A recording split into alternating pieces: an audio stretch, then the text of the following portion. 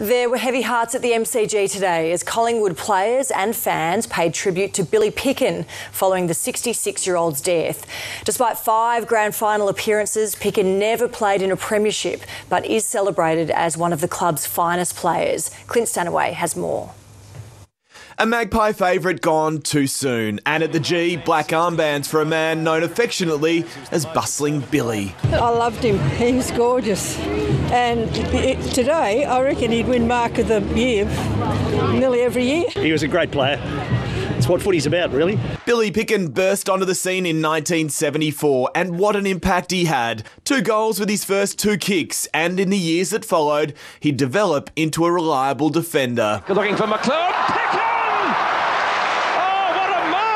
Passionate, skillful, assured, and loved by his teammates.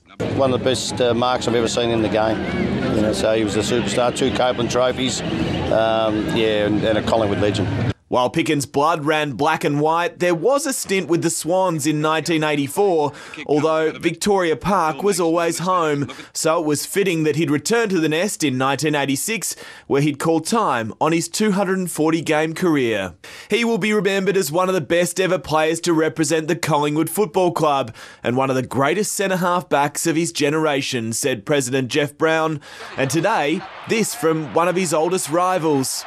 He was one hell of a player for Collingwood. Collingwood, and he was one of the most famous of all the Collingwood players, you know, because of mm. his exploits, you know, his aerial exploits were just extraordinary. Sadly, Picken was never awarded with footy's ultimate prize, a premiership, although in 2016 there was a grand final day thrill courtesy of son Liam.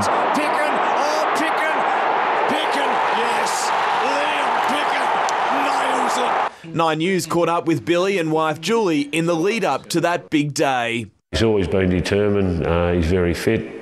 Uh, he lives the lifestyle of an AFL player. He's very dedicated. Along with Picken, the Collingwood family is also mourning Con Britt, another heart and soul player who pulled on the famous black and white jumper 110 times.